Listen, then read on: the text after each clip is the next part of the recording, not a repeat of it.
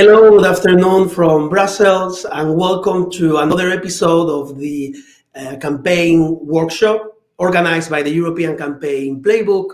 My name is Sebastian, and I will be your host today.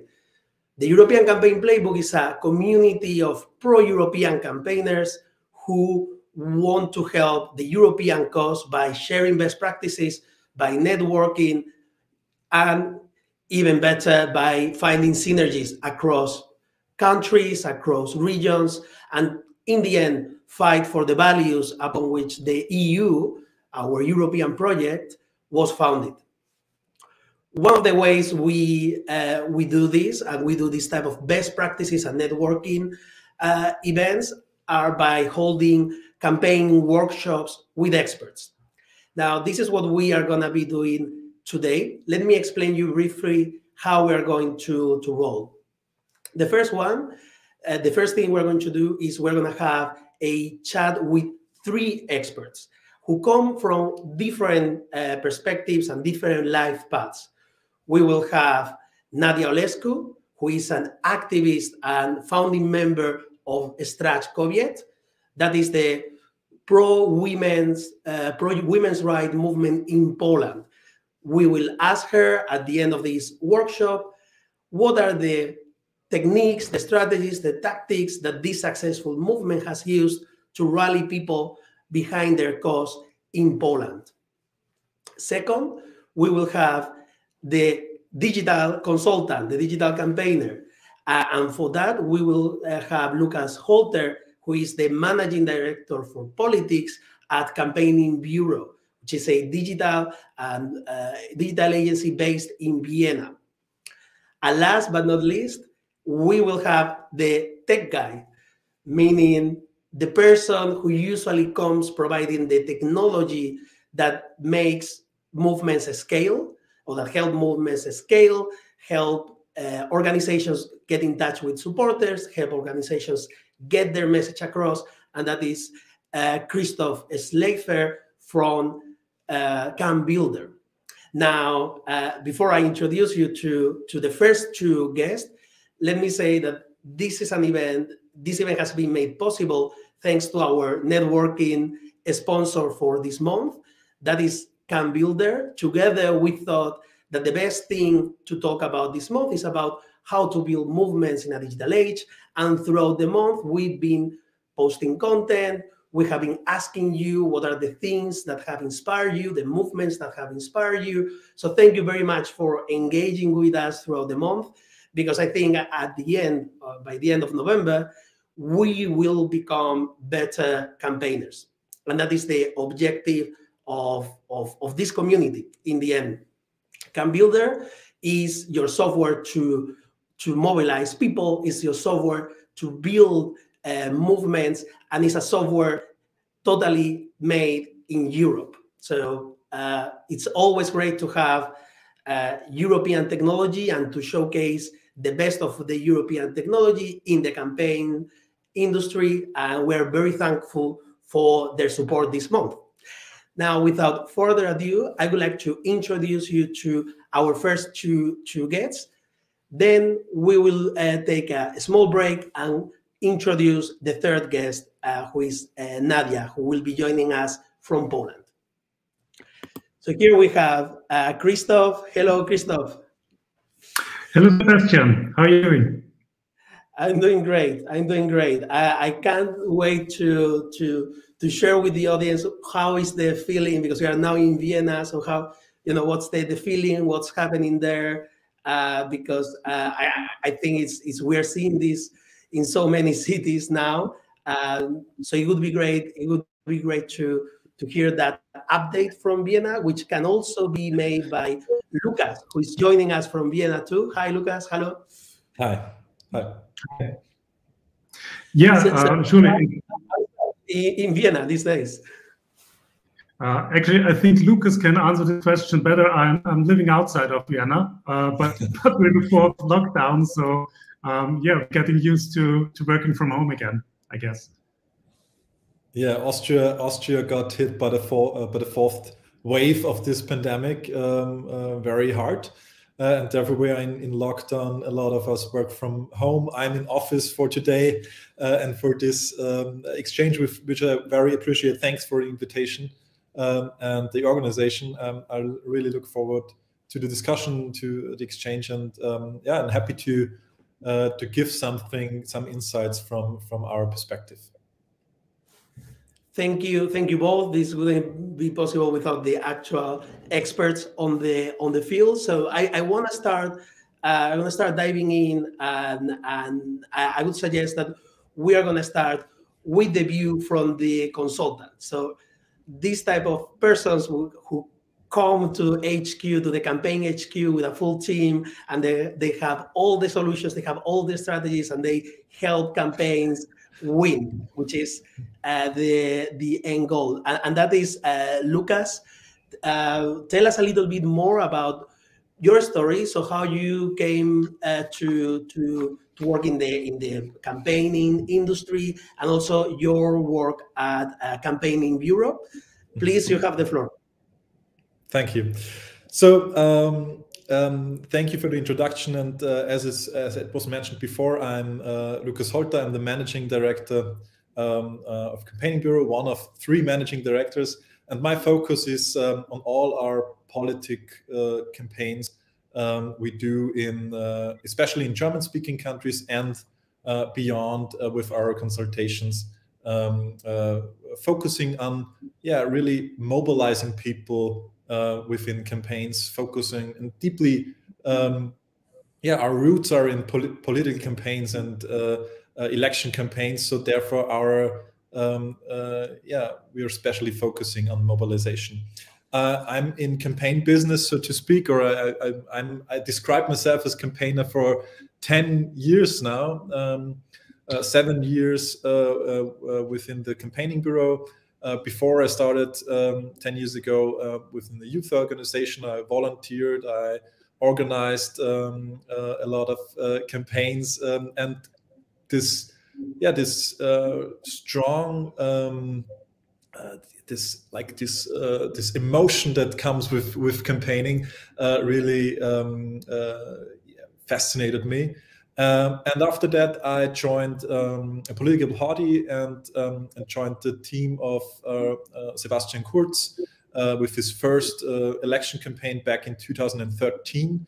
Um, uh, and yeah, back then uh, his team was very small. and I did like everything a digital campaigner, I would say, does from texting emails, producing content for social media, uh, providing texts and, and images and, and, videos for, for website building, landing pages.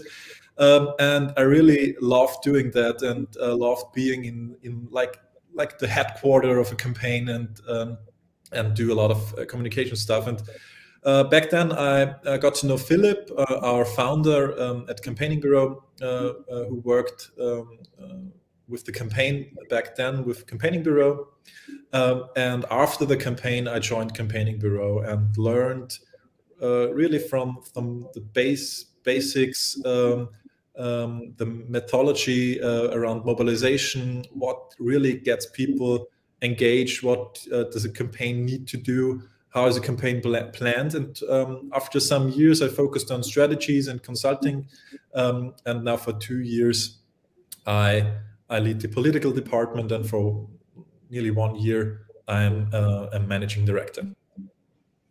Uh, and, and, let me go a little bit off script now. I know you, you have something to share, but I, most of the people who are following us today and who are members of our community, they they are campaigners themselves, as I explained at the beginning. And one of the recurrent things that they always mention is how do you build a career in politics and in campaigns? And and what you have described, it's is pretty much the, the, the it's one of the many ways. No, you started volunteering probably with an organization back home, and then you started to go up the ranks, uh, doing like you said, whatever was necessary uh, to to get the to push the, the message and to get the message across.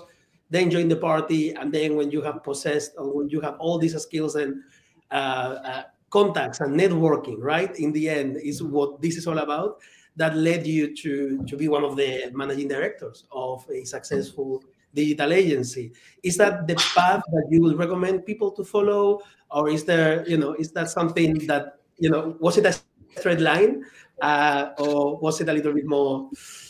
Yeah, uh, yeah. Uh, you you mentioned important stuff. Yeah, it's uh, it sounds like a straight line uh, when I describe it afterwards. Uh, uh, uh, I think uh, Steve Jobs said uh, connecting the dots backwards is easy, uh, and and it seems like a straight line. And obviously, it wasn't that planned. And I um, a long time ago, I I wanted to be a lawyer, so it's, it's clearly not the path that that I followed. But I think politics and campaign in general, because in campaigning we don't do only politic uh, politicians uh, campaigns, but also uh, campaigns for corporates, campaigns for brands, for NGOs. So, what really fascinated me was was working within the campaign, working with a crowd of of like-minded people who share uh, common values, who share your cause, and to really organize this this group of uh, of like-minded people and this this power that uh, that comes out of the campaign that fascinated me. And so, therefore, I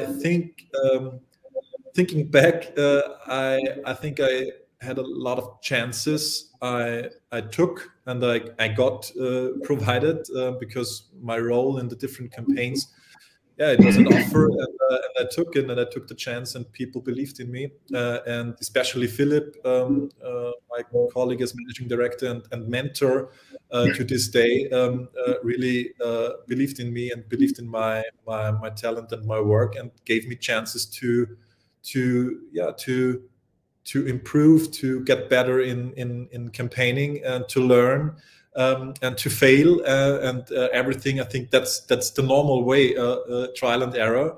Um, and I got a lot of chances, um, and I even uh, got chances within the politics, and I declined them. And I'm happy about it because now I got my path in campaigning bureau um, and have um, have the possibilities to work with so many campaigns. Um, and maybe politics waits for me uh, some some years from now.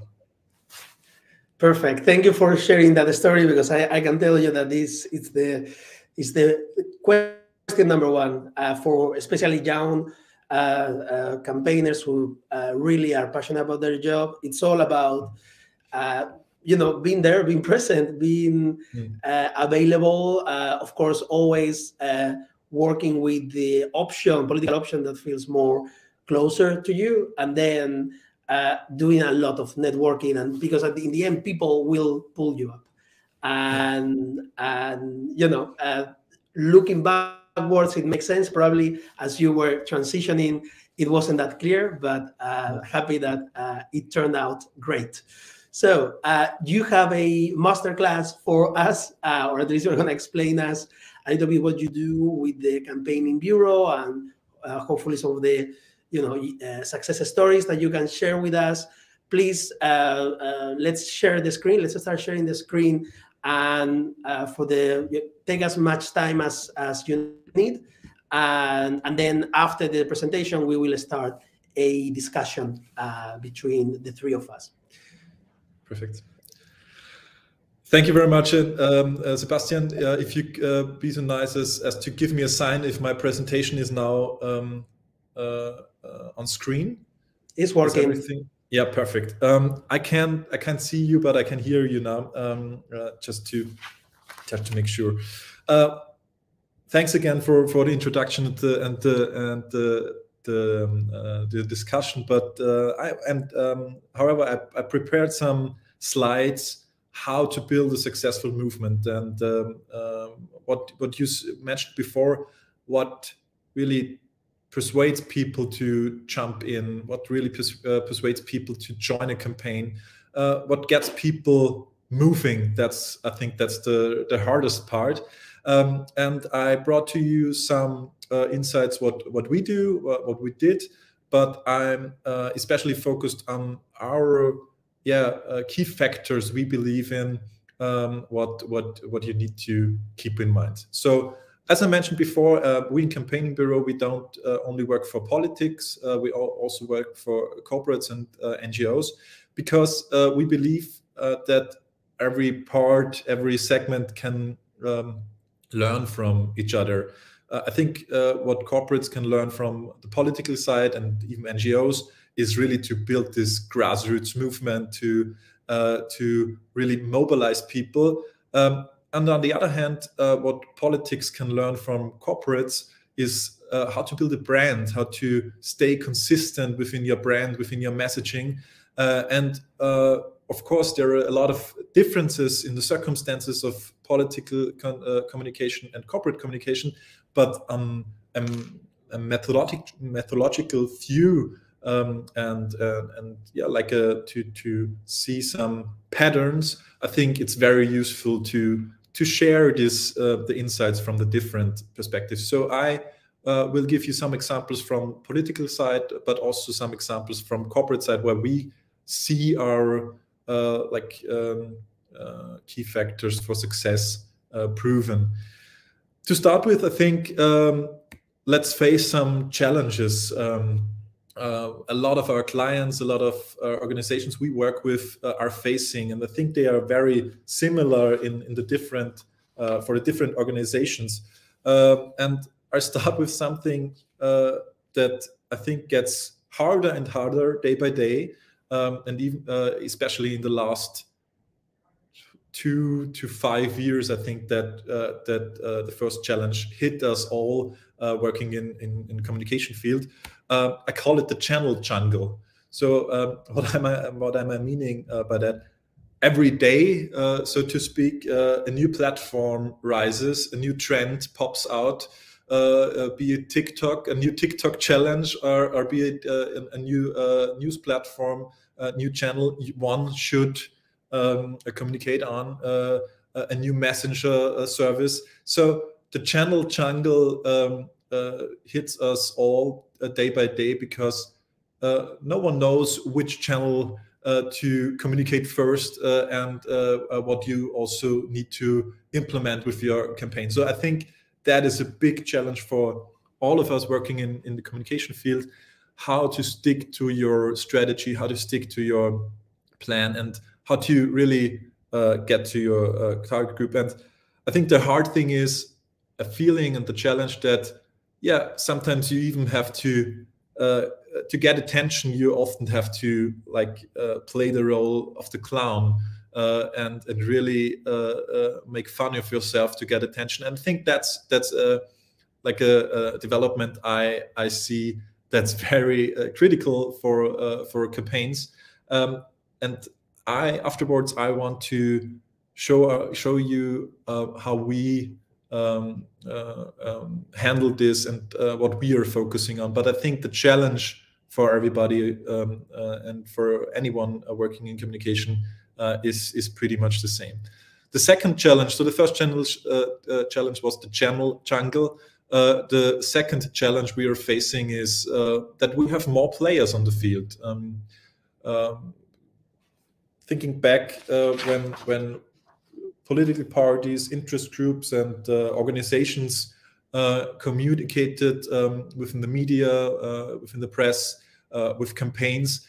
Um, but with the rise of, of social media, of course, with the digitalization, and you see it in the pandemic now, everyone, nearly anyone with a smartphone, can develop a really large and strong audience uh, for the good or the bad. Uh, um, uh, you can see that. Um, beside and, and, strong audience beside the traditional media. So I think one challenge for um, classic organizations, for institutions, for parties is that you don't only compete with your competitors, uh, with other parties, with other political parties or other interest groups. You also compete with, yeah, everybody who uh, has a has a voice uh, uh, on the internet um, and wants to share it and uh, and builds a community around it. And uh, in Austria and also in Germany, I know it. there are big problems um, arising within the pandemic with within Telegram groups who spread some nonsense, and that's the downside. The, the upside is that uh, and the good news is that everybody can um, build strong communities and build movements. So the question is for campaigners is how to use those yeah new possibilities within your campaign um, and to yeah really uh, compete against uh, the players on the field.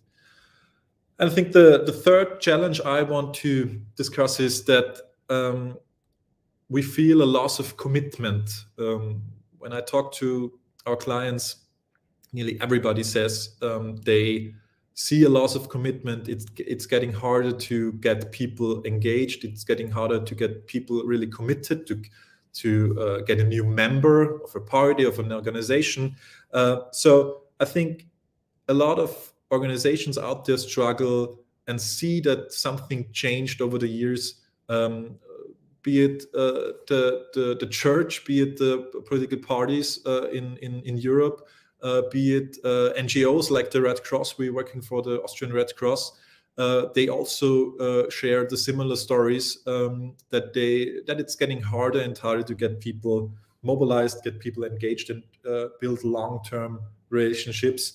Um, and I think that are three main challenges, beside a lot of lot of more. I I, I, um, I assume, but um, these three challenges um, think uh, I think are very very common and very similar in, in the different um, segments um, of our clients, and I think um, uh, at you um, as well. So, what are we doing now? And I want to share three main learnings, lessons learned, um, and give you some insights um, with every uh, to every uh, three uh, chapter. So, the first thing I will focus on in the following is create belonging through identity. How to build a strong bond with your community is the fundament I think every movement needs. How to build a strong identity around which a community builds. That's the first thing I will talk about. The second thing I will talk about is lower the barriers and raise the value.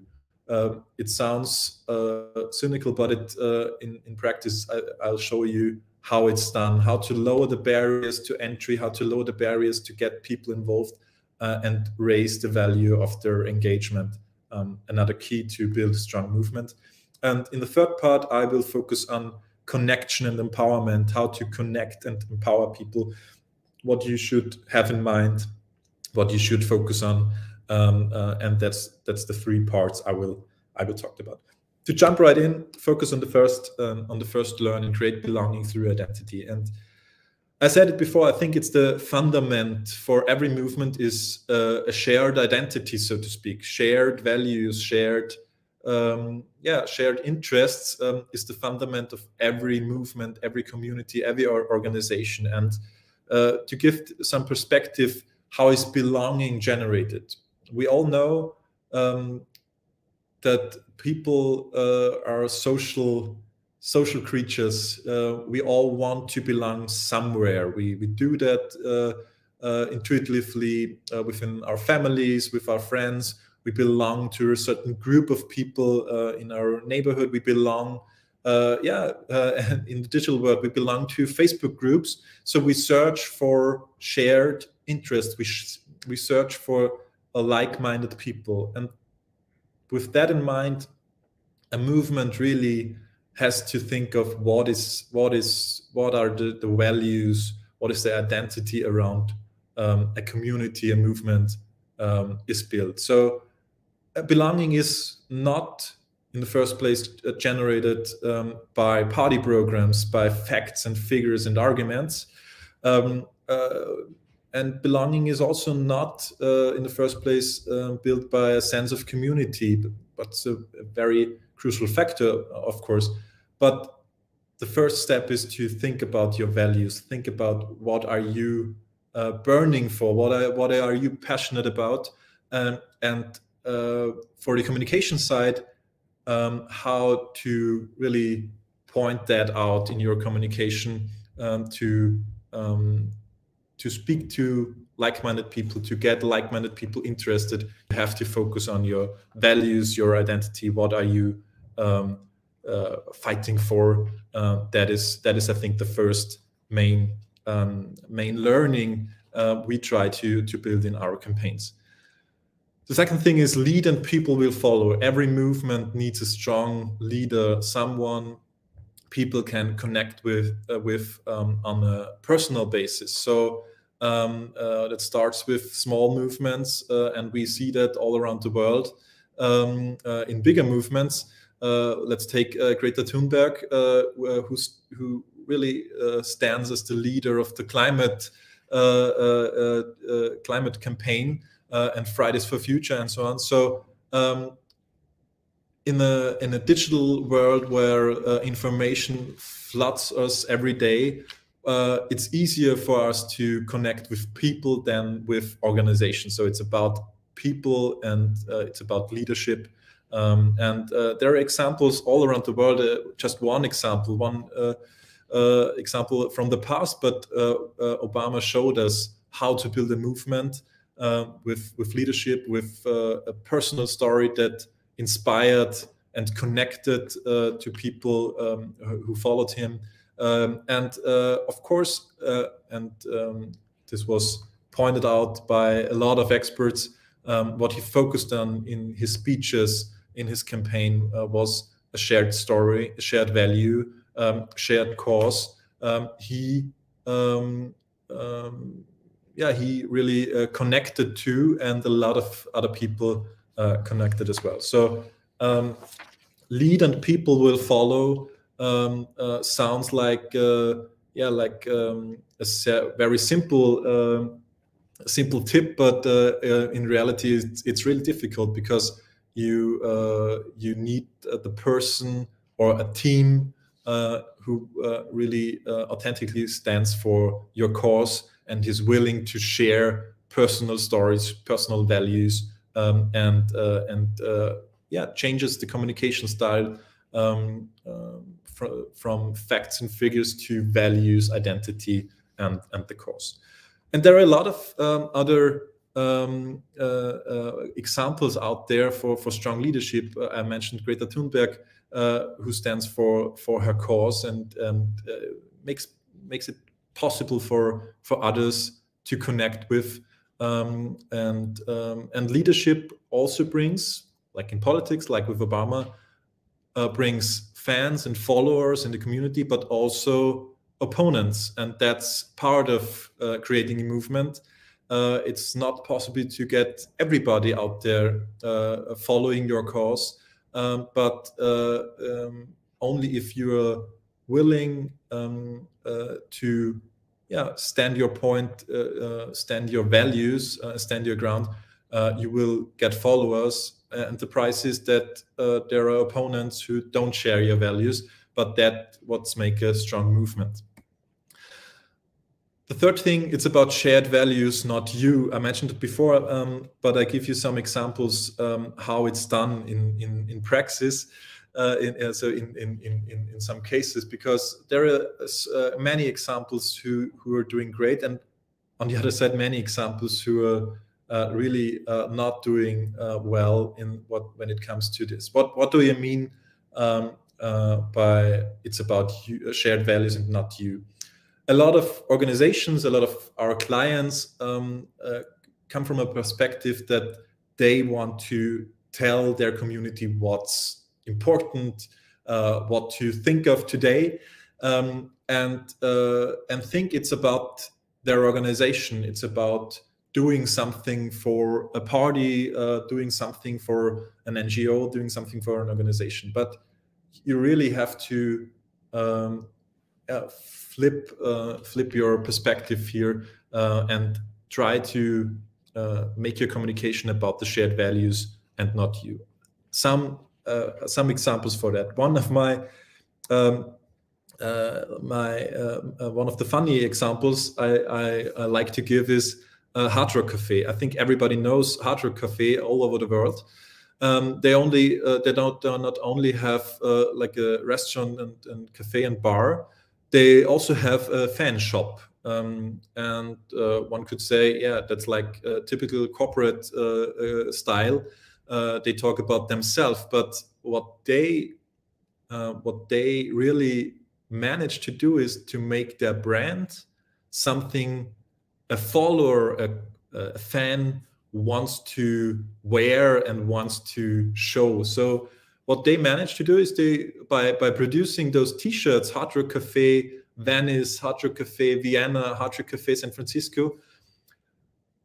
Someone buys that not to promote Hard Rock Cafe. Someone buys uh, it not to promote uh, the brand Hard Rock Cafe. Someone buys it because they want to say something about themselves, and that's crucial. That's the the crucial difference between a classical communication, uh, corporate communication, and what they do.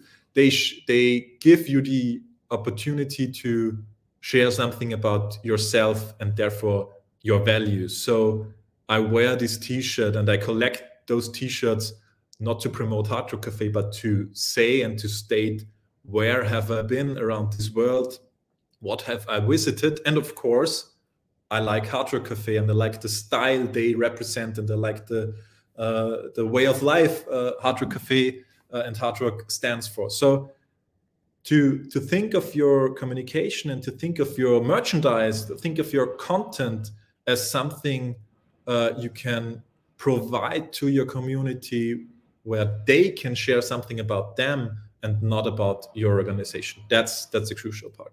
Some other um, uh, examples um, I found, and uh, many of you may know. Uh, uh on the top, the female company, um, a brand which uh, uh, and a, and a corporate focusing on female products and female rights. Um, I think they are in Germany, and they have a, they posted a picture on social media which stated he he asked me what's your favorite position. I said CEO. So another example, it's not about uh, we're the female company, we're, we are great and we um, help uh, females out there, but it's a, a, a shareable that uh, that gives you the opportunity to say something about yourself, about your values, and what shares, uh, what what are the shared values you have with the female company. Another example uh, down to the left is um, the um, uh, American Express, um, uh, who um, initiated the initiative uh, to shop small businesses. so they they stand for um, supporting American small businesses, and they um, lead this purpose and give the community uh, tips and uh, and and raises an event to shop small uh, and support uh, your local uh, small shops and uh, a company which also focus on profits like everybody uh, every company should do but uh, also has a clear purpose um, and um, build something others can connect to and, and share their value and top on the on, on the bottom right is Dove. I think everybody knows the Dove campaign for self-esteem. The Dove beauty campaign kicked it off uh, so um, uh, uh, real beauty was the the slogan of one of the first Dove campaigns, which focused on um, yeah self-esteem and body positivity um, and and yeah people share their values, people share their point of view um, and how they want the world to be. And Dove creates an, uh, a campaign system and the campaign content that not says buy Dove uh, products or buy our products uh, or uh, see how great we, uh, uh, how what what a great company we are. But um, yeah, really focusing on on these shared values. So to to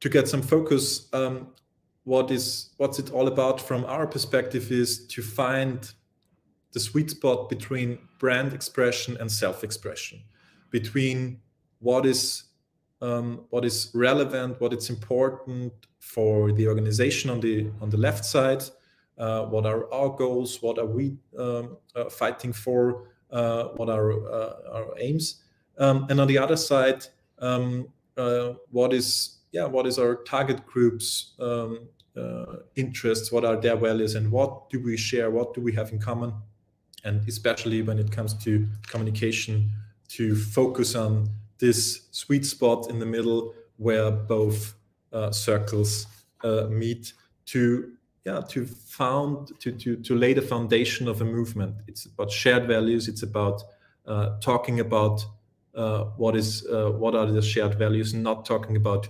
yourself. N nobody uh, does something for an organization. They do it for themselves. They do it for uh, their own values. They do it for their own visions um, in life. And if you focus in your communication on what shared values you have uh, you can uh, lay a, a, strong foundation uh, for a movement.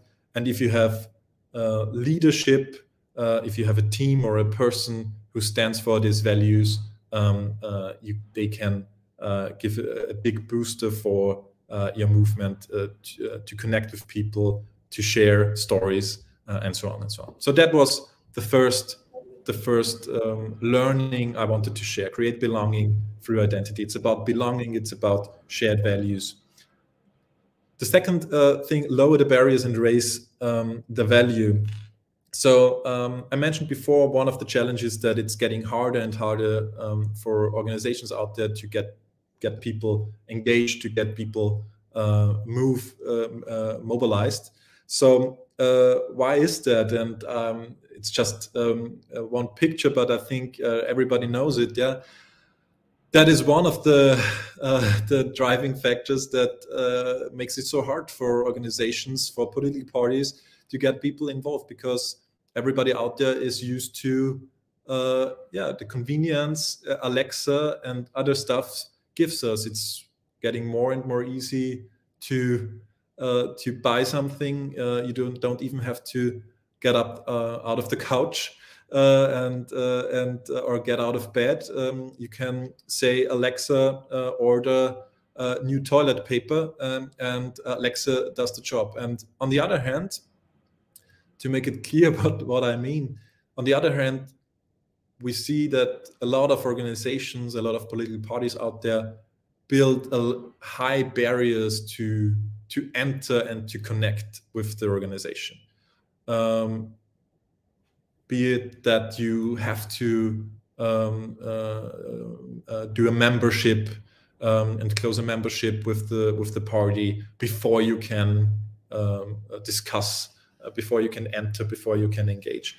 Uh, so what we see on the other side is that a lot of organizations out there uh, make it pretty hard to connect with, make it pretty hard to yeah, get in touch and um, and get engaged within an organization. And uh, what we see is a big shift out there, um, and uh, it's developing slowly. Some some are uh, further, some are uh, um, more behind, but uh, it's developing that parties, especially political parties, uh, but all all kind of organizations, lower their barrier to entry to connect.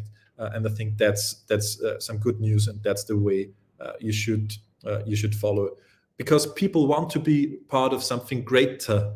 Uh, um, I said uh, before. People want to belong to something. People want to uh, uh, be around like-minded people. People like to be part of something big, part of a movement. It's a good feeling to to um, to get something done, but they are only willing to engage little at first, and that's um, that's the the crucial part where our ladder of engagement, one of our uh, yeah um, uh, patterns we we follow in our campaign uh, in our campaign uh, planning in their campaign uh, um, uh, strategies is um, this ladder of engagement. The ladder of engagement is our engagement tool, which makes it clear that there are a lot of different levels one can um, can can enter a campaign, and also one is willing to um, uh, to follow the campaign. So um, uh, uh, starting on the ground, uh, you have the level of observers. So people who see your content on the different channels, who are in your target group, um, um, and uh, who see and, and follow your content. But yeah, they uh, the, the the the challenge is to get them excited, to show them uh, here is our leadership. We are about to change the world uh, and it's about your values as well. the second step is the step of um, followship. So people give you some something to stay in touch with, be it a custom audiences, a custom audience on, on social media to uh, uh, to do a cookie consent, uh, or be it an email address um, or a phone, a phone number, a messenger sign up. So some kind, some some action that makes it possible for you and your campaign to reconnect uh, with the person.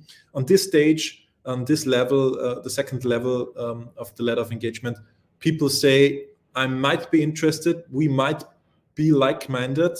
But uh, yeah, let's see what you've got and and and uh, uh, yeah i i i'm willing to listen and that's the the most difficult uh, part in a campaign to really show people that they are right uh, uh, that their, their sign up uh, within the campaign was right so to really provide them with um, with content that enlightens them and and shows them that their shared shared values um, um, are, are found in the campaign. Um, the goal is to to to get them to the next levels, and the next level would be endorsement. So, so a clear commitment to the cause, a clear commitment to the campaign, um, maybe even publicly uh, on a social wall uh, or uh, within uh, social media because they uh, change their profile picture to something uh, about the campaign. So that would be one small next step.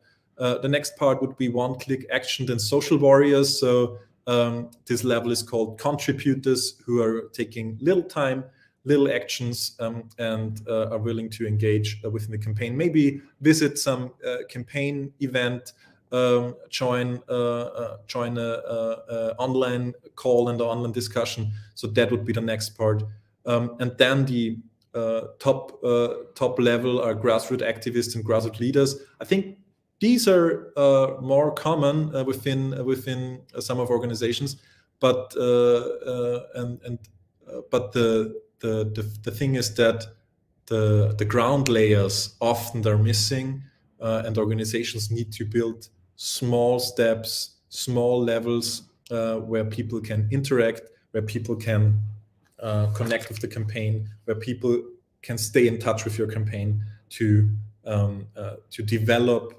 their engagement. And that's um, one of our main um, models we work with, the ladder of engagement. And what helps us, uh, and why do we believe um, in this in this model, and why we see it in in um, in practice that it it works, are three main nudges we uh, implement in our campaigns. There are a lot a lot of more uh, nudges out there uh, you might know, but I want to focus and give you some examples for the main three nudges we pretty much use every day in in, in a lot of uh, content and uh, landing pages and uh, and campaign stuff. Uh, three nudges to boost your boost engagement and why we believe the ladder of engagement works. The the first nudge, and I give you some examples, is uh, consistency. Consistency means that people like to be consistent with their identity, with their your sense of self-image, and um, they want, for example, if if a person thinks I'm a healthy person, they try to do things they think let's uh, uh, consider uh, as healthy. Um, and in other words, if you get someone uh, to to give a commitment to your campaign, the chances raise significantly that they are willing to engage uh, more and more later. So it's the uh, tactic of small steps, I would say. So small steps to get them um, uh, connected to, to the campaign, to get them focusing on the cause, uh, that a, uh, an image of consistency um, develops in their mind. So uh, it's it's the tactic that uh, why we believe in the ladder of engagement because the, on the first levels we try to yeah to to lead people to get a commitment to the cause because we know the chances rise raise significantly if they commit to something if they commit to the campaign. If they say yes i support this campaign they are willing to engage more and more later and significantly more than people who don't give their commitment the second thing, and I give you some examples afterwards, uh, is social proof. I think very, uh, very common, very known um, uh, um, principle uh, of uh, yeah, social um, um, social habits is social proof. So being around people who are like me, be doing the same thing as people who are like me or are people I admire. Uh, so testimonials and these this kind of stuff, stuff is all focusing on social proof. And the third thing is reciprocity. So the uh, the principle that says um, if you give me something, I I I'm more willing to give you something back. If I give something from the uh, if I I get something from the campaign, if I get some uh, yeah if if the campaign uh, gives me some um, product or uh, uh, or or content piece that uh, I I I think is is valuable for me, I'm more likely to give something back to engage within the um, the campaign. So some examples for for these um, uh, three nudges. Uh, one example for consistency and commitment, uh, we did a campaign for CDU um, in the last months before the election campaign in Germany. Uh, it was about the party program. It was about uh, discussing with uh, party leadership around uh, what uh, around the key issues of of the campaign. So um, something not everybody out there wants to do um, at first. Um, and what we tried to do, we really tried to uh, build this kind of ladder of engagement and try to involve people with small steps, try to get them to a commitment.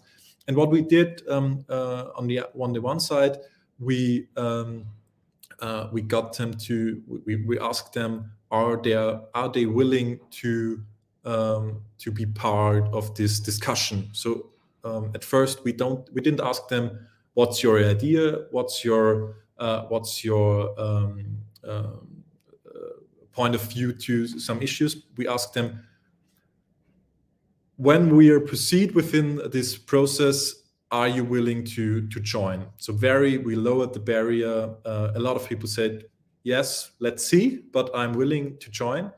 Um, and a lot of them and you see that on the right uh, hand side a lot of them even stated they that they want to be part uh, with their picture with their name with a statement um, and, and said what's what's important for them.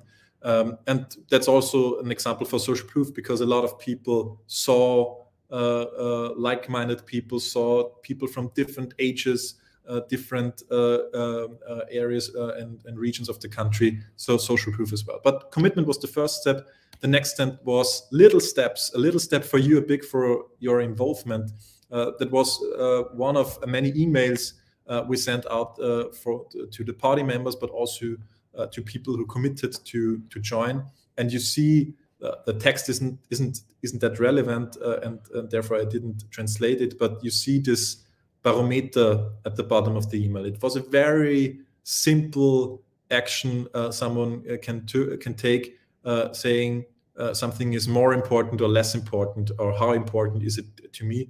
And that's like uh, with your with your thumb. It's very very easy to do that, and a lot of a lot of people did that. And that was one little step for the for the supporter, but it um, yeah it it it pro, pro, uh, provided uh, consistency and uh, and bonded it more, bonded bonded the, uh, the supporter more to the campaign, and even uh, uh, and and and and raised the chance the chance that people are willing to engage like in in something like that a, a virtual discussion with six other peoples in Germany around one topic.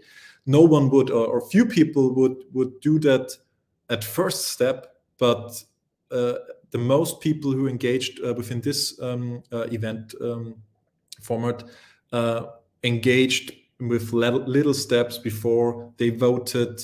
Um, they, uh, they, stated some uh, some issues, um, and um, most people who engaged within um, this digital conversation took small steps at first. So that's one of the, the main um, uh, principles, uh, lower the barriers, small steps. Um, that's a that's, a, that's an example for that. Another example for social proof and commitment um, uh, campaign we didn't, but is uh, is out there and a great example for uh, this kind of kind of nudges. And you see it um, a lot of uh, social proof here in in in practice. So you see a big number. Uh, uh, 2 million gender equality web commitments and counting. So, how many people are following this cause? Um, uh, how many social media conversations about that? How, he for she commitments, 3.3 million um, uh, community events. So you see, even a, a number can trigger social proof because you think, oh, that's that's a big of a movement and I should be part of it. You even see pictures of people who are also within the campaign. Uh, you see others out there, normal people, not only uh, testimonials, not only like actors and uh, and models, but also people like you and me who are um, joining this cause all around the world.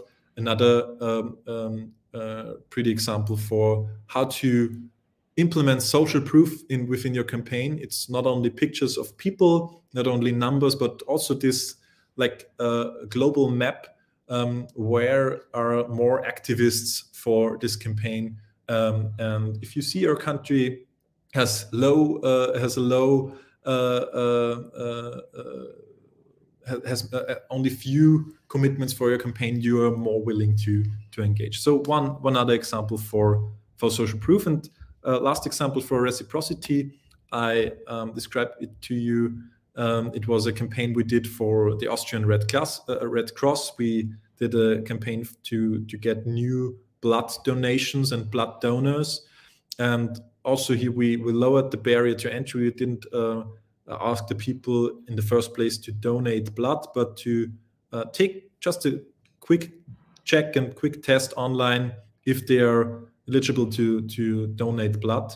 Just five questions uh, the most relevant questions someone might not be uh, eligible to to um, to donate. And so 90% of uh, of users who did the test ended up with uh, perfect you're um, you're able to donate blood um, want to make an appointment. And the thing was and there there comes the reciprocity um, in place um, most people said yes okay i make an appointment. They uh, jump to uh, virtual uh, calendar and, and made an appointment. But all of them who said actively say, no, I don't want to, uh, to make an appointment now, uh, we asked them to, uh, we said, okay, uh, it's fine, we ask you later, but maybe you can, you have other possibilities to, um, to help the campaign. And the thing was, there was a big difference between the people who were sent it to these help otherwise page to this engagement page um, over 45% uh, 46.5% helped after they declined to make an appointment. Um, only 23.8% helped after we led them directly to the page. So uh, we, we took some users and directly led them to the page. Um, um uh, only 23% engaged but if someone says no to the offer of an appointment, to the ask of the campaign, they are more willing to do something uh, something different uh, to help. So the, the principle of reciprocity works in both ways. If we as a campaign uh, give value uh, to to the community, they are willing uh, to do something uh, in, in, back. But also it works if someone declines you Uh, uh, an ask, and uh, then they uh, the the um, the likeliness, the chance to that they engage increases. I have some some slides left. I, I will give my best to to focus. The the next thing I want to talk about is connect and empower. The last thing um, I want to talk about, um, and what it's all about is um, yeah that if you build this fundamental, fundament, this uh, belonging, this identity, if you lower the barriers to enter the campaign, uh, then the next step is to yeah really treat people uh, not like uh, data uh, who uh, who, who get your newsletters, but really like to treat them like people who share your values, your cause, online and offline. And the first step is you really have to um, want you you really want to know who is uh, who is behind who is the person behind the data who is the person behind uh, the email address um, and really really want to get to know um, uh, what they're what they're um, uh, passionate for passionate about. Um, and um, the first thing and the first principle is the campaigning core loop. I want to share that with you because it's a very simple uh, but very uh, yeah i think um, useful model uh, to think about communications. So what we try to do with the campaigning loop is to visualize what how we get people to know within a campaign. You always have on the left side, we start with a trigger, be it on social media with a content piece, be it a landing page, be it um, uh, uh, canvassing on the street, being uh, being an event. But uh, it's always a trigger to get in a conversation. It's always a trigger that leads to a clear call to action, a clear call to action what what's next to do. What's the interaction we want uh, we want from you? Be it a social media content piece on the one side and the landing page to sign up to or to interact with on the other side to uh, cookie consent or um, or uh, uh sign up with your email address your phone address your messenger. Um, and this interaction is, is valuable to us uh, because with every interaction we collect new data we collect uh, new contexts on the one, one hand side, but also we connect new data around people who are already in contact with us. Because with every data, um, um, with every interaction, we learn about what is uh, what is relevant to the person, uh, which email uh, uh, and which email is clicked and therefore more relevant to the person, which landing page is interacted with, which topic, which issue, um, um, so everything, um, every interaction um, uh, should be tracked uh, and, of course, fully uh, within the GDPR, but uh, with, with, data protection law. But um, you really want to provide those interactions because interaction is the way we learn more about the people. We learn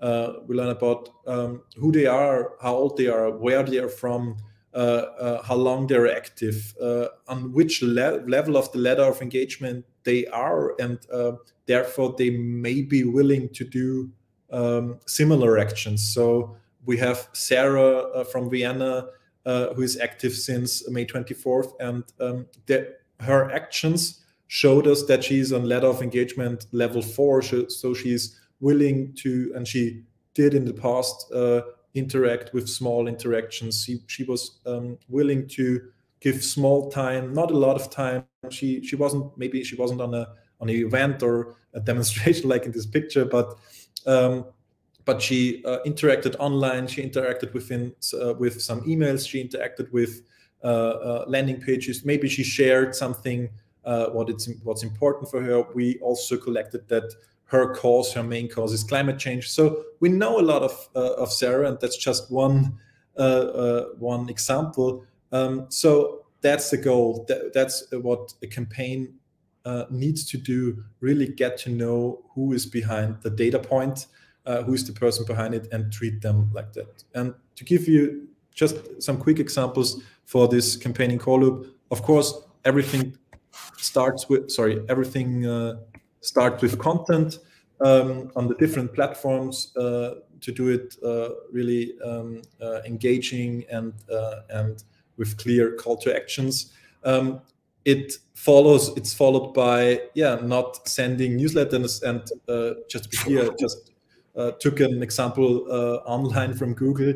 there are so many bad examples of newsletters.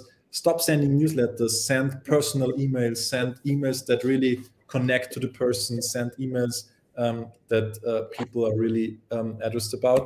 Um, the next thing would be active community management on all of these um, uh, communication channels. So uh, if you send different kind of emails, if you stop sending newsletters, you will see you will get a ton of more um, uh, answers, a ton of more interaction, and therefore, of course, campaign organizations need to step up um, um, their efforts when it comes down to community management um, on the email side to really answer the emails, really get connected, get to know the people better. And of, of course, on social media, I see a lot of uh, channels out there which do uh, uh, which have a lack of community management, and I think that's that's one of the biggest challenges for every campaign to use this interaction to to uh, uh, get in the dialogue and stay in touch. And uh, we, we have Lukas. Um, um, I, I, don't want to, to to to hold. We have some people quest uh, some questions from the audience. I would like to yeah. to bring quickly and not let them wait. But uh, perhaps we can. I, I, think you. I mean you. You have done an excellent uh, overview, uh, almost like campaigning 101, and on on uh, you know, especially in Europe, with a lot of examples in in Europe. I, I found yeah. that uh, the uh, the people who are following us, they are already coming up with, with a few questions, and maybe it's a it's a good time it's a good time to to to bring them on board.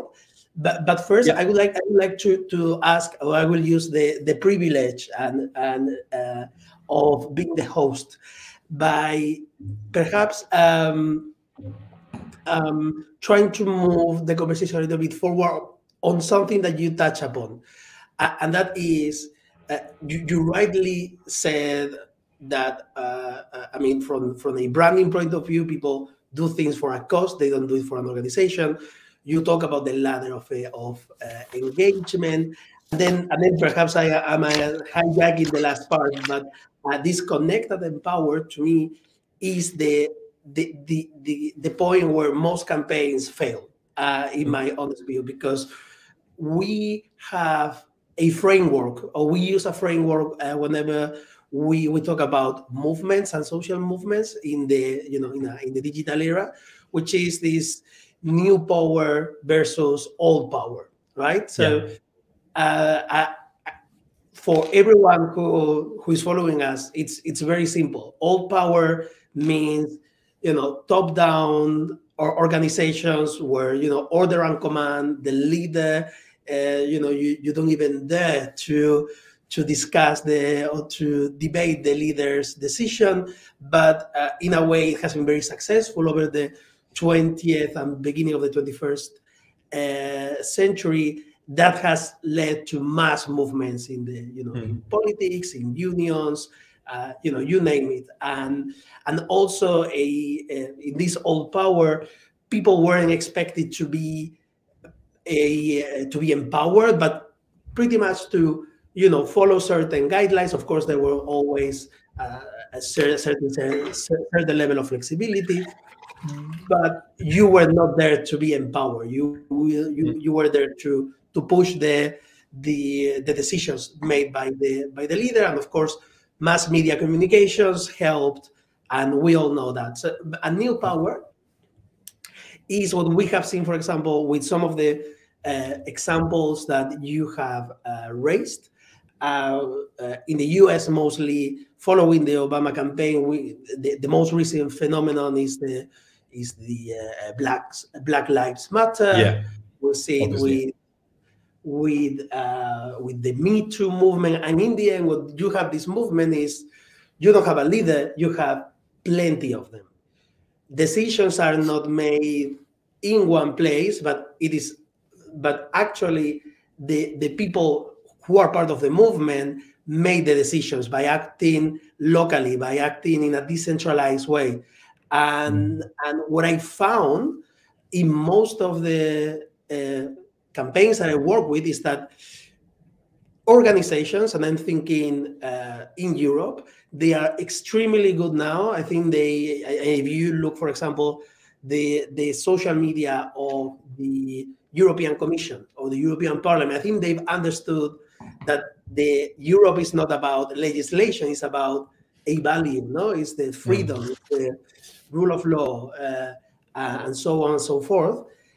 They have uh, uh lowered the barriers of entry to participate, and we have seen uh, in the last election, for example, there was this big digital organizing uh, exercise being made and and people could you know anyone could receive a bag with information about the election day a few pins, other goodies, and it was all great because anyone could be part of the movement. It was easily the, the, the, the entry barrier was very low.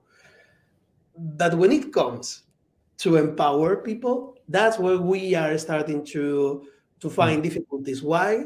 Uh, and this is the, I would like to hear your thoughts. Why this happens? My take is that organizations don't want to lose control over messaging. Mm. Um, and of course, there's a trade off. Uh, but I don't think you can empower people uh, by giving them a exact line to take. This is not empowering. This is this is something else.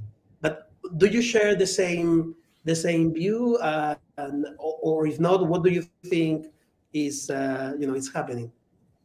Yeah, I, I I I understand what you what you're saying, um, and I think it's it's um, it's possible to do to to do both at the same time to stay in control about the messaging of of uh, for instance a political party and to empower your grassroots organizers and, and, and grassroots campaigners because um, obviously there are officials within the party who need to stick to your message playbook who need to stick to your strategy. But what a, um, i think a modern campaign organization uh, should be able to do is to give some clear fields uh, where they yeah to give clear um, advice and and and rules uh, what uh, what people should do in the campaign. So uh, basically i think the, the, the the the task for campaign organization is clear um, goals for the grassroots campaigns and then also empower them with information with uh, like playbooks what can they do? So um, that that lowers the barrier as well. People there are not a lot of people who uh, sit uh, uh on, on their uh, on their desk at home and think what can i do today for the party and for the the campaign? But if the campaign says hey uh, Lukas um, you want to have some ideas which are uh, of course uh, within our messaging strategy with uh, within our strategy of the campaign but we have some ideas for you that are, uh, you can do but within those uh, like uh, um, guidelines you're full fully free to do whatever you like however you like and whenever you like um, uh, and so I think both is possible. The party officials, of course, need to stick to the to strategy, to messaging, but uh, uh, you can also give guidance uh, and clear goals what the grassroots campaign can focus on. What do you think, Christoph? Um, actually, uh, it's it's interesting when you say new power versus old power because um, what I think is that it needs some, some sort of, of coming together of both of these worlds, right? So um, I think organizations nowadays they have the problem of of getting into the new power, getting into this organization, organiz, organizing part, actually, this grassroots part, um, versus the, um, uh, the, the kind of political startups, I would say, um, who who who start with a strong cause, with a strong organizing factor, because they have like strong supporters at hand. Um, they they would need much more of a communications part. That's what we experienced in the in, in the recent Bundestagswahl in Germany. Um, we we had some some uh, political startups, as I would say, uh, who who candidated there. Um, and, and, and, I think it's easy to organize also for Black Lives Matter when you have this strong cause. Um, but still, you need this this communications part to, as as Lukas said, to to align behind a, a common strategy, behind a common cause and a common goal um, and that's that's where I think it, it it needs both of these these things. Yeah, and when it comes to empowering, of course, it's um, looking from an organization's perspective. Um, it's it's still too much kind of old power to say, okay, um, empowering is you can give us feedback and you can participate, um, but empowering means, more than that. It's it's it's sharing resources. It's um, also also kind of um, letting them work themselves um, behind this common strategy. Yeah. So actually, that that's my two cents on on that. Yeah, I, I, think this is the, the the the big challenge, right? How you you strike the the balance. We I haven't got the the the, the playbook uh, for that, but I think it works more in a one you know case by case, and every organization is different. The grassroots may be something new, maybe something more professional. Maybe they they become even way too uh, uh, autonomous that actually results in a spin-off.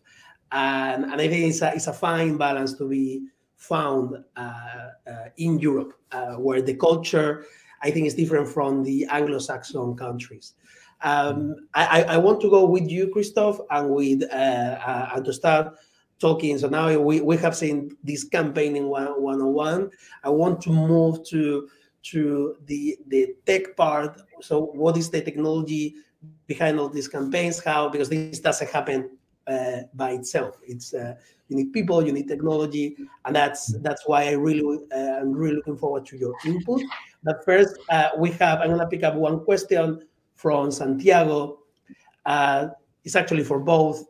Uh, and it's a good closure for for the the first part, which is what is in your opinion the most successful grassroots movement that has used social media and data uh, this year, and it could be in Europe or elsewhere in the in the world. So that should give us, you know, what is your two, three top uh, movements that you would recommend uh, to us, Christoph?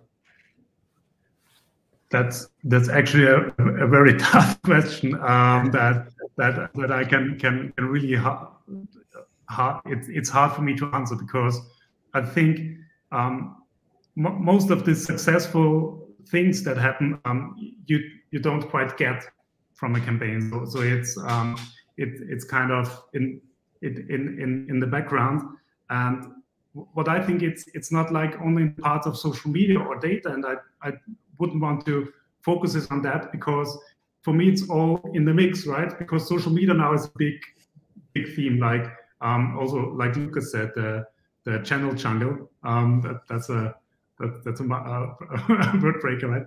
Um, this the the social media part is is only one one part of the this puzzle. Um, and I think when when campaigns become really successful, it's when they leverage all of their you know all of their, their the tools and all of their aspects, not only like social media and data, but I think they're the Plantive example, and, and I think Lukas uh, may have some some of them where where you can see okay how how that's working great. But, but I wouldn't want to limit it on on social media and data. Okay. I, I fully agree, Christoph. Um, but um, and and however, I I think there are pretty good examples out there who do a good job. But I think what they all have in common uh, when I uh, have them in my mind uh, they are not only here since 2021 they are uh, here since a long period of time. So i think a, good movement uh, of course some movements get momentum uh, so to speak and may rise uh, from one day and they're they're up. Like the me too movement was there within some some days and and got bigger and bigger um, so one example I gave in my presentation was the He for She campaign. I think they do globally great job in campaigning, uh, in interacting with the community, uh, in in getting testimonials involved, uh, and, and and and use social media. Um, and I think other examples always uh, with uh, when when it comes to campaigning are um, uh, are Greenpeace um, and um, and Amnesty International. I think NGOs, uh, we learn a lot from them uh, how to really grassroots organize around the cause. Um, and they, um, um, especially Greenpeace, I think, does a great job on social media. And as Christoph said, of course, a lot of things not everybody can see because there are the filter bubbles uh, um, uh, and uh, and I'm not in every every bubble um, and uh, a lot of movements are, uh, um, uh, and especially the successful movements are uh, driven regionally uh, from Greenpeace, not globally, but regionally in Austria, in Germany, um, um and uh, and so on. So um, I think that's that's a crucial part. Um, they're they're they're willing to invest a lot of time uh, and they're on the market uh, of movements uh, more than than than some some days and months, and they use the different aspects, as Christoph said, social media on the one hand side, but also email marketing, data, um, events, and so on on the other side. Here, yeah, anti-vaxxers also count. Yeah, yeah exactly.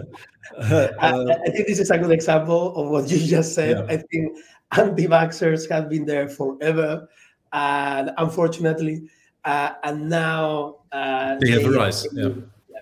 Okay, perfect. So uh, there are a few more questions, but I think we uh, this brings us to a the perfect moment to to transition and to continue talking about campaigning, but uh, now uh, let's have a, a more let's say tech geek conversation. I'm very looking forward for for that. Of course, you need tools to do all that, and technology plays a huge part in the in modern campaigns.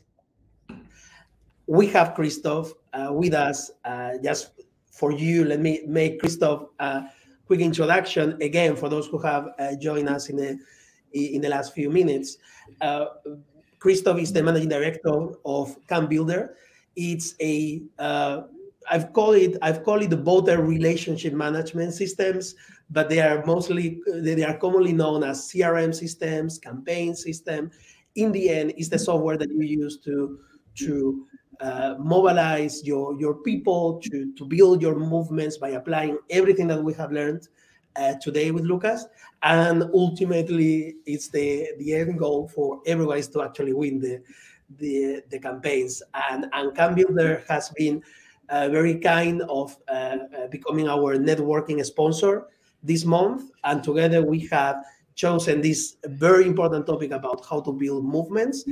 And throughout the month, we have been sharing best practices, we have been sharing inspiring movements, we've had a lot of conversations, and now this is, let's say, how we top it up uh, with with this campaign uh, workshop.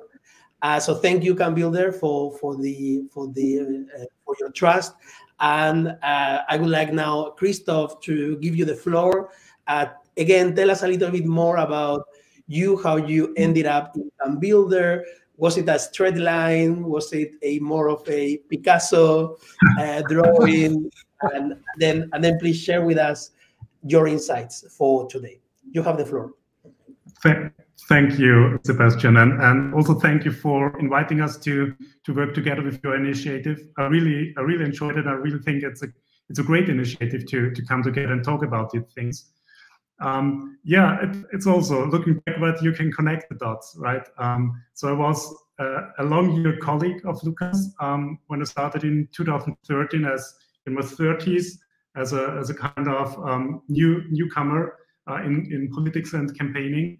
Um, I also started in Campaigning Bureau and, and was the head of development and CTO and responsible for building customized infrastructures for campaigning, right? So, so when we started with Sebastian Kurz in, in 2030, we laid the foundation of our infrastructure uh, for campaigns. And uh, over the years and over the over the projects, we we just got got a sense of what's really needed for for efficient campaigns. What what do you need in your daily business? Um, what's working? What's not working?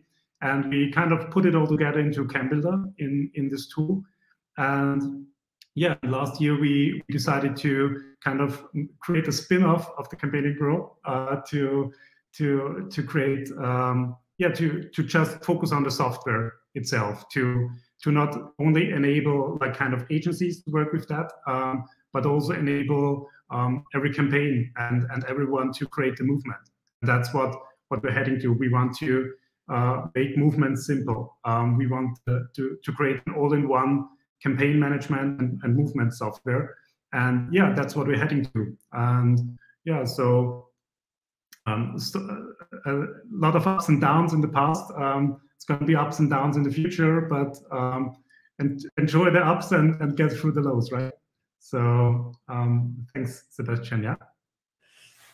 Thank you. Uh, so we will talk about this. Uh, I think I will. I, am curious about a few things, but I would like to give you the, the floor. I think you have a presentation uh, to share with us. And so, uh, for everyone, uh, please keep sending your questions. I will try to to bring them to the speakers uh, uh, at the end of the the the presentation by Christoph. And now we start our second part with this second masterclass on campaign technology. Yeah, just just a second. Um, I'll be here in a minute. Here we go. And there you go.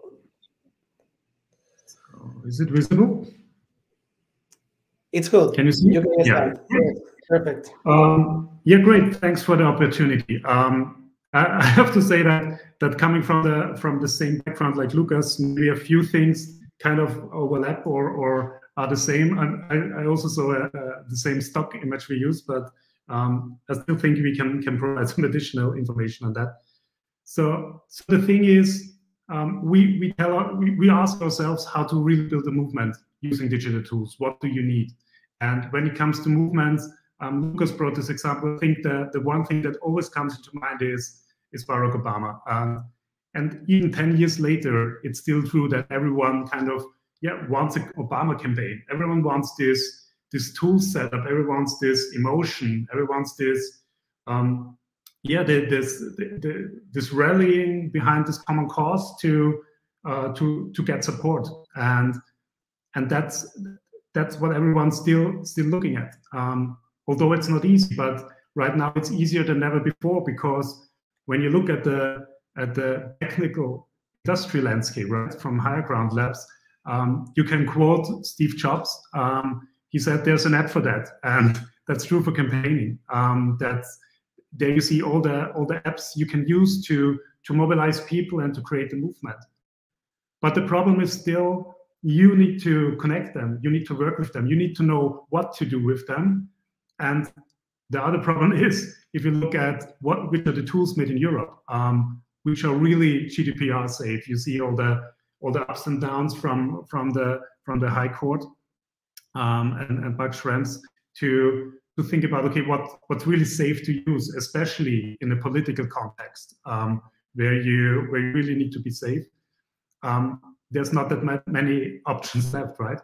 So I think it's still that everyone wants to mobilize, but it's just hard to take off. That's the situation we are in right now. Because for us, it's, it's very easy to, to say that, yeah, you can't operate movements on a sales software. Sales software have different, um, different focus on, on things. Uh, creating a movement is, is much more than just selling stuff. Um, the other thing is, of course, it takes a lot of experience to know what to do. Um, to because uh, like a, a, fully equipped kitchen um, doesn't let you create um, first-class meals, right? You need to be a cook as well, and and that's that's the second part. And of course, looking at Obama's movement, everyone's everyone wants his movement, but no one has his budget. And uh, to use all these tools or and and getting consultancy, not, not even on Obama scale, um, that's really hard to set up, and you need uh, a lot of money. So what I think is when it comes to tools, it's it's not about which tools you use, um, it's what you do with them. And I think that's that's when we come to the what you said, uh, Sebastian, the, the old old power versus new power is if you want to do your practices that that you've done like for years or centuries um, uh, or decades in between. Um, to use all this these settings or these approaches just on the digital media. And i think that's where where where most most organizations do wrong. Just trying to to use their place they used to like how can i make a perfect print poster or how can i reach people from door to door? Um, to to use these principles and just put it on the digital landscape. and i think that's where where most of these, these things are wrong and what i want to, to talk with you about is to to talk about our five rules for mobilization in a digital age. So what we we've seen is, and and that's that's one where we maybe overlap with Lukas a little, is of course, it's important to treat your community as humans, not as data. I think the digital tools um, they brought the focus much more on the data part and saying, okay, that's just data. But every data point is a person that does something behind that. And I think that's where where you still need to focus on coming from a strategy part. Um, and for me, one, one, one conclusion of that is it's demographics versus behavior based. So when it comes to data and to to uh, to to humans, it's it's about the behavior. What what are they doing versus where are they from and how old are they? Uh, for me, the best example for me is still a 30 year old man and a 70 year old woman can still have the same interests um, when they just became father or grandmother. They're both interested in, in children's future, in education and stuff like that. But from a demographic side, they're completely different.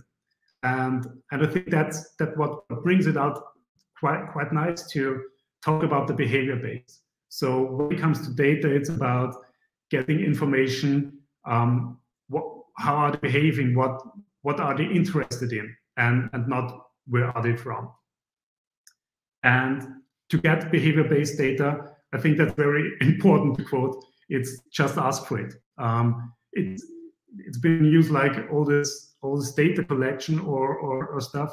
I don't think that's that's needed because when you ask for data the right way, um, people give it to you. Um, if you ask it in a context that that provides value for them as well, you get this data. And that way you can build your database and you can build your yeah your your system. And coming to your system is the second principle for me, and actually the most important part nowadays. It's about owning your data. It's it's creating your own database.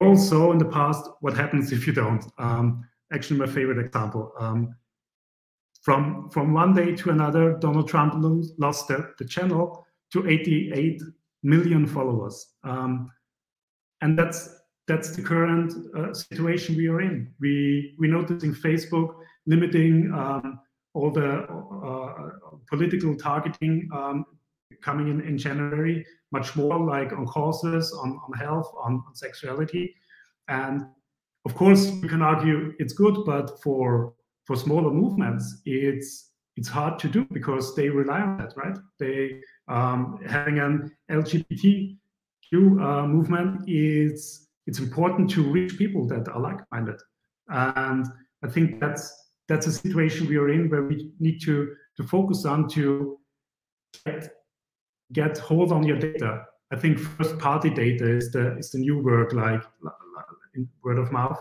um, to to get a hand on, on your data and have direct contact uh, to your community. And a principle we use on that is called the AIM principle. It's attract, involve, mobilize. It's about using mechanics, using tools, using social media and all that stuff to attract people, to identify potential supporters and to address them. And on the next side, it's about getting them involved because if you only attract them like shouting out or sending out without getting a hook on them getting them involved it's like uh, going fishing uh, without the worm or or uh, just just putting throwing in the worms into the lake um, and i think that's that's not what you should do when when you use facebook or social media uh, to attract people and as soon as you get them involved, it's about having just a, a small uh, contact point, actually small, or just one contact point, just the email address, for example, um, just to get contact to them again, just to have a way to reach them again. It's not about involving and asking like the whole um, get a member form, like where's your zip code, what's your blood group, what's um, your shoe size? It's it's just having having one way to reach them. And and as soon as you have that you can use tools to mobilize them to deepen your relationship with them to get to know them more and to yeah like like i said ask for ask for their opinions ask for their data so the stages in specific is when I'm talking about attract, it's I think that's that's where social media is is the biggest player. That's where social media is really right to attract new like-minded people, new people who are who are who are good for your movement. Um, but also it's it's about web websites, it's about landing pages, it's it's about offline events as well. It's about canvassing. So it's it's basically all the measures you can do to to reach people. But the thing is, as soon as you attract, you should always have a way to get them involved. Like when you use social media only to yeah to post information. Um, I think it's it's throwing out money if you're advertising that as well. Um, but you should also get them anywhere where they can give you your data, use a lead form or use landing page or stuff like that. The same is for offline events. Um, for a client, we he, he did uh, Austria tour uh, with with a lot of offline events, and what we did was we provided a, a tool to have a digital backing for this event. So someone could sign up on this event in the digital scape and say, okay, I'm part of that. And and that way, I think about 70 or 75% of the participants also signed up for, for these events and we got data contact points to, to reach them again. And if you don't do that, they are on the event and then they're gone again. Um, and I think that's, that's what's important to have these attracting measures but also get them involved. And when I'm talking about involvement, I said that before, it's it's it's still the email address. It's still the, the direct contact point that brings you straight into the, the inbox. And uh, and keeping it simple, keeping it stupid, kiss, right? Um, to ask only for the, the minimum of data you can really use. And that's one that, that's a big advantage of the GDPR because actually they want us to do that way, right? To to only use data you want to use, and uh, and we saw there's there there have been a lot of of of, big steps toward this direction since the GDPR that not everyone's asking for all the data, um, but but it's still still the case in, in many campaigns. And as soon as you have these contact points, it's about mobilization. Um, we've seen this image before. Um, it's about it's about getting in contact, having a dialogue with your community, with these people, to evolve them and to get to know them. And one principle that also Lukas had in his in his slides, um, but I, I brought an example of that, is is like using this ladder of engagement to yeah to get uh, to get to know them better and to evolve them as supporters. For example, also Lukas had this uh, the the Red Cross they they ask the the toughest question you can ask for, right? Give us your blood. Um, and if you if you just say, okay, hey, um, on the street, they did it on the street, um, can you give us your blood? Um, I think that's that's a giant step. That's that's really hard to do, and, and everyone's oh oh no. Um, so the way we did, and with the Campaigning Bureau, was um, we we created these steps in between. We asked for hey, can we count on you in an emergency? And I, th I think who of you wouldn't say yes, right? Uh, and the next question was, okay, are you even eligible as a donor? And when they answered yes, the next step was, okay, can you donate in the next two weeks? Um, that's still better than just ask, okay, donate blood now. Uh, and when they said yes, it was directly to, okay, make an appointment. And as soon as someone had an appointment, it, it's it's very they, they very surely um, donate their blood then.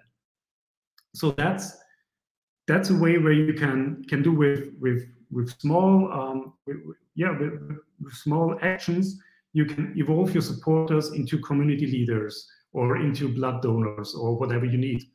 Um, and that's the same for um, when coming back to new power versus old power. I think new power lives a lot from the community leaders, this this red step up there. Um, but still, you need old power to get people there, or to to to yeah to to um, scholar them or to evolve them to these community leaders. And that's on the other side the problem for organizations coming from the old power um, get people there because they don't have these people yet, but they can um, filter out, they can evolve people to become these community leaders. I think that's that's basically the most um, important way to, to mobilize or build your movement. And how can you ask these steps? For, for us, it's still emails. Um, Lukas also had it uh, in, in his presentation, newsletters. When I'm talking about emails, and that's done right, it's not newsletters. It's not creating an offer with 10 different, or I like the screen from Lukas with 20 different options on it. It's about sending out one message. It's about sending the right message to the right people. It's what basically what you want to do is just like in, a dialogue, you want to say, hey, that's my opinion on that. Um, are you with me? With a clear call to action to say, okay, is it interesting for you? And of course, you shouldn't send it out to everyone who, who needs that. You should send it to the people that are interested in that. Because that way you can tailor your um, yeah, you can tailor your mails, you can tailor your communications. We all used to do that on social media, but I think in email it's still um, it's still lagging behind. We're still used to sending out to the whole community all the time.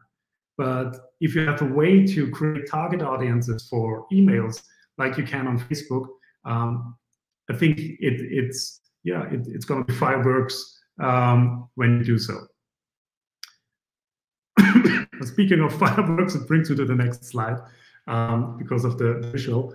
Um, it's about fast response campaigning. Um, and I think it doesn't matter which tools you use, um, but but uh, uh, something you, you do in communications is you use every opportunity to tell your message. Um, you want to use every cause, every every situation to tell your opinion on that and to ask for, hey, are you with me or or not?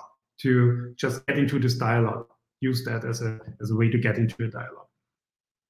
And the way you can do it is for us as a tool, it's still with landing pages. So so sorry. Landing pages is it's not a website. Uh, landing pages are simple sites uh, in the web that, that are not on the website, but but just for a specific cause. Um, with that way, you can target a specific audience. You can say, okay, um, I only want to uh, target people who are interested in this topic. And landing pages have the opportunity to focus on a single interaction, like the email is done right. Um, it's not having a landing page or an information page with 20 different uh, information boxes and here's more information you can do this or that or this it's just one interaction it's asking one question it's that's my opinion. Are you with me? And if you use tools and that's where it comes in you can you can enable a really fast response. So we see it with clients of us. Um, where it took like weeks before to create campaign pages or landing pages. Um, it just takes a day to really get into fast response. When you can skip out the developers, skip out the designers, just have a campaign manager set it up in in a few minutes, yeah. And that way you can can really get into fast response campaigning.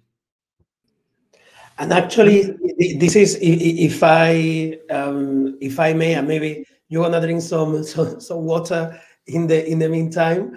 Um, I one of the things that uh, I thought it's it's really interesting about these landing pages is sometimes the, the, the, barrier of entry, let's say, also in the digital world is that people say, "Oh, wow, you need a new website," and, and of course, a new a website is is a lot of work. It's often expensive. Mm-hmm. You know, it brings like many conversations about you know branding, etc., and that's just too much hassle what you're proposing here, right, is is is forget about the website or or you know your website is is there for people who want more information when you need to put in front of your audience are those easily readable simple pages and in each page there is a message there is a opportunity to collect data with the right consent and off you go you don't have to have all these conversations about you know website design you can even test as many landing pages as you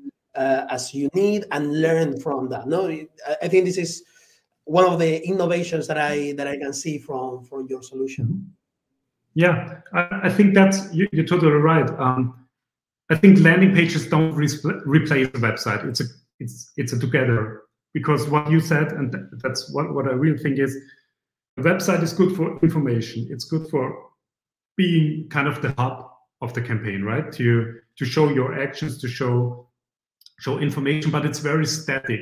You don't change a website very often because it's it's a lot of work um, because you have to see at all the connections and all the parts. Um, when when coming to landing pages, it's just it's kind of temporary offers in the web because a landing page is not built for being there for years. It's built for being there for weeks or days or whatever, right? Um, and that way you can, of course, fastly iterate. You can A/B test this these pages, but it's much more like like not being there and okay they are found, but it's it's like the you can say the post-click experience on Facebook. Um, if you if you click on an advertisement, you come to a landing page where you get it in more detail and you become active, can become active and can can support the campaign because you're much more willing to support something what you're interested in, this topic, um, via just the, general campaign.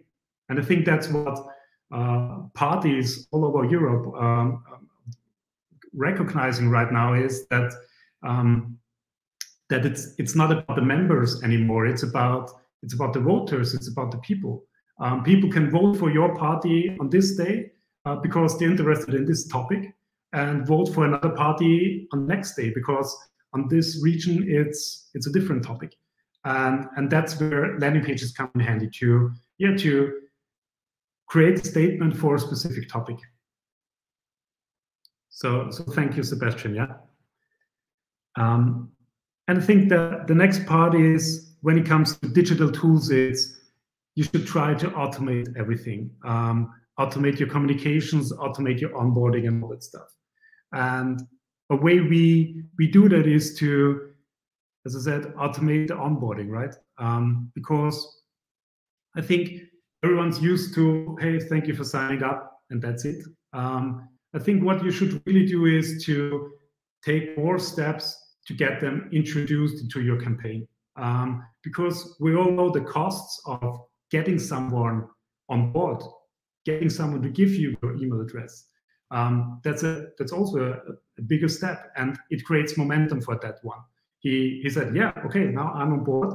And the worst thing you can do is to just say, okay, thank you. Um, we'll talk to you in two weeks, um, because I think it's it's using this momentum to to getting them deeper and deeper into this campaign. And that way you should not only send one mail, you should send uh, an onboarding uh, chain to to this um, to this new supporter. Like on the first day to welcome him, uh, send out the motivation, tell him ways to inform yourself. After three days, you can send him an introduction to a person who's going to talk to him. Um, you can send him the bigger picture. What are we trying to do? Uh, you can also send him what he can do right now. After five days, you can send him a personal story. You can ask him some questions to get to know him. And that could go on and on, right? Uh, so I think with onboarding chains, um, you have a great way to yeah to to introduce someone into your movement. And I think the last part is, and, and we hear that with New Power a lot, is empower your community. And uh, I won't go into to details with this now because I think it's that's something very obvious right now, especially when when someone's um, focusing on, on campaigning, right? You want to empower your people. And I think I said it before when it comes to, to new power versus old power, it's it's in the mixture. It's not only like saying, okay, we hey, we ask you for email address, so you are empowered, or you can can do this it's giving someone resources to become active themselves.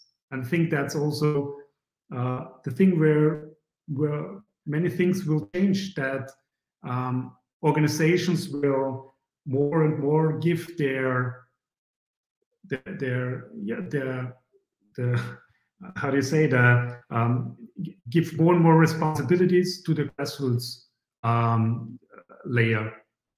But on the other side, as I said, it's it's about the the coming together. It's not only relying on this because then you you got 10 people and 10 different opinions, but it's also having having them organized behind communications. And one little thing from, from my side, that all these strategies that that's what we're focusing on when when it comes to our uh, development, when it comes to CamBuildr. So with CamBuildr, we we have a solution for digital movements um, where you have this audience base where you can create target audiences for your email. Um, we have it transparent and compliant. Um, everything's done in Europe. Everything's built in Europe, uh, fully GDPR comp compatible. Um, we got like these landing pages in it. We got the communication parts in it, like emails, like the uh, email automations. Um, and also the numbers prove us right here. Um, compared to the, the common newsletter tools out there, we got um, like 50% more opening rates, 50% more click rates uh, because of the way we, we want you to use emails. And also CamBuildr incorporates engagement apps like having a way to create this digital backing for events, having a way to create votings, having a way to create um, commitment uh, uh, pages, like someone saying, yeah, I support you. Um, also like user-generated content pages and all that stuff. And, and I think when, when it comes to building a movement uh, made in Europe, it's it's still the number one tool to go to. Yeah. So actually, that's that's all from my side for now. Uh, thanks for your time. Thank you, Christoph, for for moving the conversation forward because I think now we have achieved the main aim of the workshop, which is to handle firstly the the strategies and the, the, the best practices and then map this out with the with the tools with the digital tools and i'm saying that because uh, and we are all, the three of us we are in the business and we know also how consultants we we are. We usually um, uh, come with a predefined idea about what the the tools need to be because we have used them because we we know they work etc but sometimes the the the the part that needs more work is is the education about around these tools and around what it means to run a grassroots campaign or to run a digital organizing uh, campaign and and on your on your presentation, uh, Christoph, I, I, found many interesting points. The, the, the first one, mm-hmm. which shouldn't, and being in the business that you are, shouldn't be, uh, you know, shouldn't come as a surprise, which is it is important to own your data. And I couldn't agree more. The example of Trump is is, is the, the most remarkable, but but there are so many other uh, examples that you can you can think of. Uh, Facebook, you know, after investing all your money on on ads, you still don't know who those people are. You don't know who saw your your your ad. You don't know you don't know them. I mean, you can you can always get uh, the owning the data is super important, and also owning it in a way that uh, uh you are very transparent about a what data you collect, b what happens with this data once it enters you know your world, who is uh, accessing it? Are you sharing it with third parties? Are they even switching to another uh, jurisdiction outside the eu in the end how you you know and this is how you become gdpr compliant. I, I don't like to or when i say gdpr compliant is is uh, there is no uh, uh, there is no test of you know okay you pass you have become certified gdpr it's it's about how you explain to the users in a very transparent way what's happening with the data and whether this data actually leaves the uh, to a jurisdiction where uh, the EU doesn't consider that uh, the same data rules uh, apply. You know, and in your case, uh, your solution Uh, uh, allows organizations to own that data. You also said all this data is based in, in Europe. The whole uh, infrastructure is built in Europe. What would you say to organizations that come and say, I have this data privacy concerns. I'm not sure if I want to really do digital organizing because that will give me headaches in the, you know, down the line. What is your usual response also for the people who are following us uh, today? Yeah, I think, um, and we got that a lot over over the summer, is um, that many campaigns get get more and more sensitive on that because when it comes to campaigning tools, and you saw this this picture of the map, right, um, where where it's full, and and when coming to Europe, it's very empty. Um, is that that there are many tools out there, and you see them in use that are are based in the US and the the thing is, if you want to be com completely safe on that, if you want to, um, as you said, um, rely on on on everything that that that's still in Europe, um, then people come to us and, and and often switch to our system and, and are very happy with that. And to say that I myself and, and Lukas, uh, we sat in the same room. We we had the situation before, like like a few times, um, where from from one day to another, uh, tools we are used for our clients weren't um, possible to use anymore, and we need to find ways around that. And and I think it's very it's very good if you can just check check one thing off your list, and and that's what we yeah what we want to provide as well. Perfect. Uh, Lukas, do you want? I, I, saw you nodding. Do you want to jump in in this super important? To me, is is is probably the most important question of modern campaigns. Uh, so yeah. I, I, would like to, to hear your take. Yeah, um, um, I'm happy to do so. Uh, I think Christoph, uh, Christoph uh, uh, uh, mentioned the technical part to be sure where your data is collected and that you're GDPR safe and, and CamBuildr provides that. I want to answer your question from a, a campaign and strategic perspective. I think um, you need your, uh, your goal shouldn't be to collect as many contacts and data as you can but to stay in touch with those people who want to stay in touch with you. So you won't get a, a, a data protection uh, issue with with people who want to engage with you who want to stay in touch with you. So the, the main goal should be to focus on uh, yeah on, on on people who are like-minded and to, as you mentioned before, Sebastian, um, uh, uh, to to be fully transparent what they're about to do when they sign up. So that is, I think that that's crucial for for campaigns to to make clear when you sign up, you you're joining this campaign conversation, uh, and you you can be fully aware what we are going to do with your data. And I think uh, transparency is, is the one thing and and the focus on yeah on people who want to to join the conversation is the is another.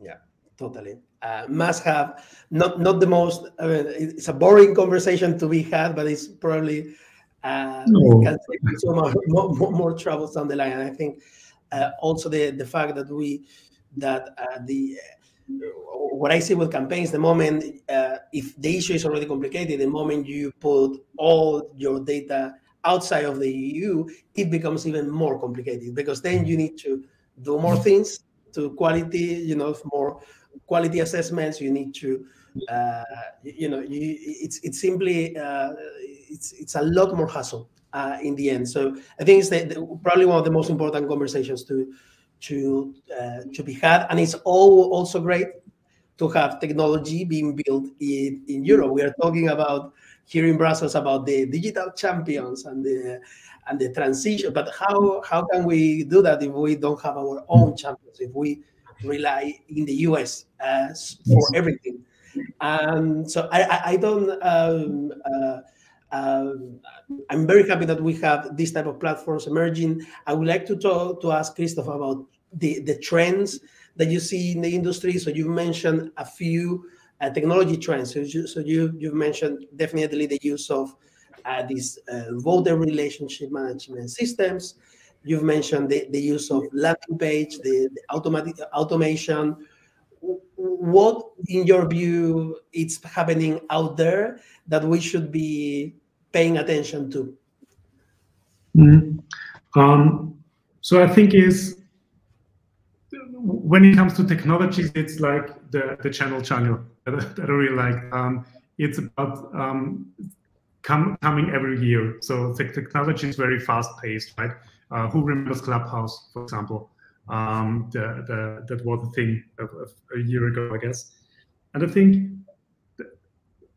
coming to, to technology is there, there will always come new things. Like the, the, the most important part is still sticking to your strategy. Like also like Lukas said, um, it's it's even if you have a common strategy to to use your data, you can use all the technology and tools you want to. And if you have like this first party data pool or this the, the, the database where you can aggregate your data into then and use it for your communications, you can use all the tools you you want. But um, what I see is uh, on the technical part is it's surely going to be much more like getting insights. Like there, there are a few tools out there now that that create gives you insights on a geographic scale to to see um, where are your voters or, or to to map them to your data actually i think that's that's one of the, the next big steps um, and and and yeah um, that's that's basically the the trend I, I, really I really see. For all the other things, it's it's just for me, yeah, get, getting more more um, yeah, get, getting more sense of what campaigning is about, and I think that's a trend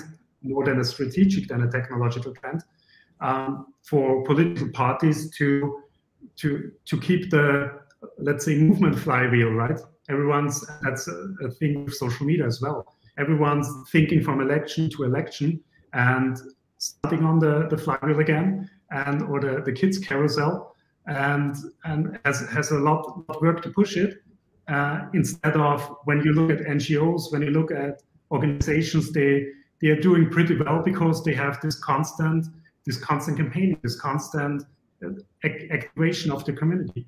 And I think that's where we're right on the shift that that more and more parties notice that it's it's important to keep keep communicating and keep campaigning. Yeah.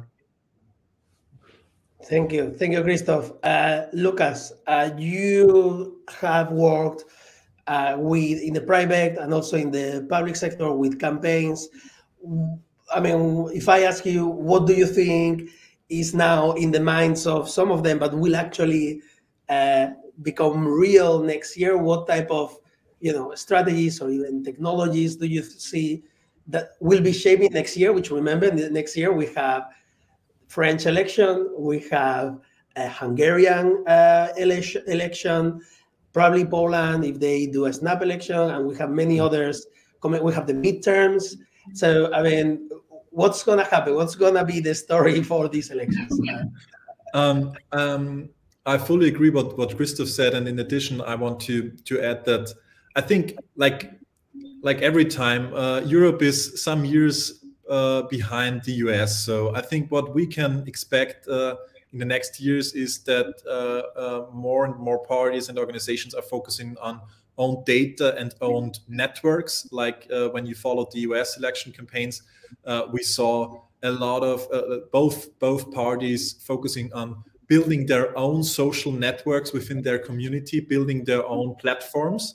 So I think that that I would expect, um, um, especially when when we follow what uh, uh, what the developments are around Meta and and uh, Facebook uh, uh, and Metaverse, um, uh, where political advertisement gets more restricted year by year. I think we, on the one hand side, own data and own networks. On the other side, we we come back to the roots. I think back to groups, back to uh, Facebook groups, back to uh, messengers, um, like we see in the pandemic as well. Um, I think we we will uh, have this rise on Telegram and and Facebook Messenger um, uh, also in the next years. And I think one big change for for the upcoming elections is that uh, after two years of pandemic, the people are more used to virtual events, virtual um, happenings within a campaign. So maybe that's a upside for the European election um, people are more used to digital uh, campaign rallies, so uh, uh maybe that uh, close the gaps between the different regions in Europe. Yeah, I totally, I totally see the uh, the uh, um, the the use of the instant messaging. I think it's it's already exploding, but it's it's it's not mainstream. I would mm. say. Uh, so anti-vaxxers to tie back to the first question. I think they this is how you explain their their success. Uh, they mm. are operating via you know underneath the under the radar uh, so I expect campaigns to be using that as well.